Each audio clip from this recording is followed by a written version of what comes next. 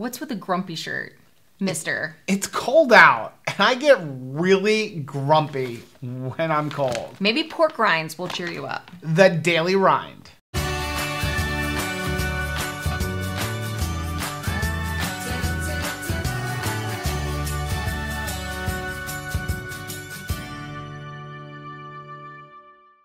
Hey, what's up, family? I'm Rachel. And I'm Joe. And we're Two Crazy Ketos. And if you're new to our channel, welcome. Here on Two Crazy Ketos, we do different things like recipe videos and we do product reviews and we talk about various keto topics. And every Monday, we sit down on the couch for Keto on the Couch. We just kind of talk about what's going on in our lives for the week. You can find us in different social media platforms like Facebook, Instagram, and Twitter. And we have a website, which is twocrazyketos.com. That's where you're going to find all of our different recipes. Now, we do upload at least five new videos every single week, so make sure you subscribe to our channel. And don't forget to hit the little bell icon, and that way, every single time we upload a new video, you'll be alerted to so it. I just got back from the mailbox, and we had a pleasant package there. Yes. The Daily Rinds. Pork rinds. I like this packaging, It's and this is like some thick plastic. Yeah, it's like artisanal pork rinds. Okay, we're just diving right into this. Yeah. Because these look like amazing. Jalapeno lime. And I've got Buffalo Blue. Here you go. All right. Well, we'll start with this one. Buffalo Blue. As always, pork, Pork rinds, rinds. just It's barnyardy. they smell barn. Ooh. I mean, they're they're skin. They're fried skin.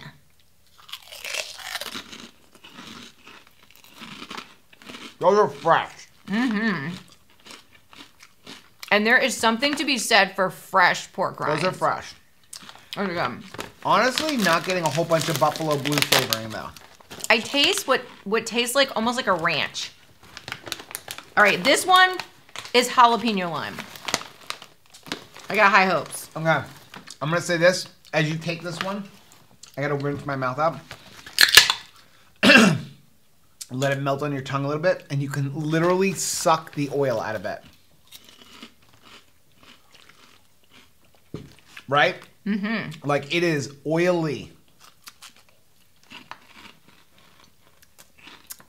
This one's really awesome. the jalapeno lime because it's got that sour citrus and spicy. And it's not a kick you in the face hot. No. I would eat good. this seasoning all day long. You may want to put that back. Because More? I got three more flavors. Mmm. So, Cinnamon toast. hot and spicy, Wow. Hickory smoked cheddar. Cinnamon toast. I want to leave that for last because it's like dessert. I want to leave that for last. What but if we like can't this is gonna be anything? burning our face off. So let's go with this and have that one in between. So Okay. no, no, no. let's do this one first. Yep. I'm just opening it So like, can this compete with, with stupid hot? stupid hot. That's a that's a very lofty competitor. It's still barnyardy. Ooh, but I smell that pepper. Wow. Ooh, very red. I like that. Mmm.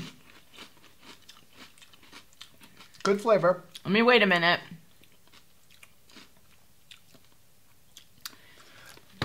It's got the back throat heat. It is not It's as it's nowhere not as hot. near stupid hot. Nowhere No. near it. But it's definitely got enough heat to slow you down, which I- is why I like stupid hot. I can feel myself getting warm underneath my eyes. Like you can feel yourself like your temperature rising. That would be my go-to. I think so Yeah. far this is the most flavorful. Oh no, I like the lime one. Really? jalapeno lime. This to me, I'm getting the. They're all good so far, but this is the most flavor for me. What it is is that the pork rind itself is super fresh and it's maintaining itself center stage with the seasoning. Yeah. You got a big one. I got a big one. Mmm. Wow. Wow. I really like that one. And I don't usually like smoked stuff, That's not as. It's not as gamey smelling. but it's got a smoky flavor, but that cheese is nice. Right? It almost softens it. Isn't that funny how sometimes the seasoning changes the I mean they're all pork rinds. It's the same product, but that seasoning just makes it more like softer. They are greasy. I like that. good and greasy. Okay. Rinse out. Here we go. Do we want to try this without A dessert pork knowing rind. if there's sugar in here? A dessert pork rind. I'm gonna assume the best. We're gonna hope the best, right? Let's just How bad could it be? We seriously have not looked at the ingredients of these. No. We really try not to. I'm gonna it's hope for the probably not the smartest thing in the world for us to do. No, it's probably not. Here we go. Still gamey. Mmm. Touch of sweetness. Wow. You, it's not a lot of cinnamon. It's nice. It's almost oh, like Oh, cereal, right? Doesn't it feel like a cereal? A dulled down, dulled down cinnamon toast crunch. Yeah, it tastes almost like a cereal or like a churro. There you go. That's Yeah. what it is. It's a churro, That is good. but not an overly sweet churro. Mm-mm. Very nice. Wow. Five things. Five things. Five things. So if you're new to our channel, we review all products based on five things. We're going to talk about the ingredients. Does it keto based on a nutrition label? How does it taste? How much does it cost? And finally, would we recommend it? Number Okay. one. Uh, there's no sense in doing the ingredients on all of these. This We'll is the one I'm most at them. concerned of. So, I don't have my glasses, but that's okay. I can help. I got it. The ingredients: pork skin, lard. Lard. There we go. So they're frying it in their own fat. Cinnamon, butter, which is cream and salt, allulose, All right. stevia, and monk fruit extract. Way to go, Daily Rinds. So I'm just one of the bigger thing I want to check out is the other stuff because a lot of sea flavored ones have maltodextrin in them. Dehydrated jalapeno, garlic, dehydrated lime, and spices. Garlic, chili powder, and spices. no bad ingredients. Okay, so okay, so this Here's is the cheese. Here's the this is the one, right? Pork skin lard, Romano and cheddar cheese, past- which is pasteurized milk, cheese culture, salt enzymes, sodium phosphate, annatto lactic acid, hickory smoked salt, and spices. I So, am impressed. I'm impressed with all of the ingredients. yeah, way to go. Number two, does it keto based on a nutrition label? You want to got this? Sure. So there's four servings per bag, which is going to be difficult because they're delicious. Two. Right? 80 calories per serving, 5 grams of fat, 8 grams of protein. There's no total carb, at, least in the jalapeno lime. One in the uh, it? Totally worth it. which is going to be your allulose. Zero in all the rest. I will say this: it, they all have a carb in them. Let, let's if they got spices, there's going to be figure there's a carb. If you eat this whole bag, you're probably getting two carbs, Which is or not close to it. terrible. So, but I just don't. I don't want somebody to think, and I'm not saying they're trying to cheat you. No. That it's that spices have carbs, but it's like in a quarter of a teaspoon, there's less than a carb, so they can put zero. So I'm gonna say you're probably dealing with one to two carbs in the whole bag. Yeah. So it's just something to think about if you really want to nitpick your carbs and count your spices and stuff. yeah. I'm pretty impressed. I'm very impressed. yeah. Number three, How does it taste?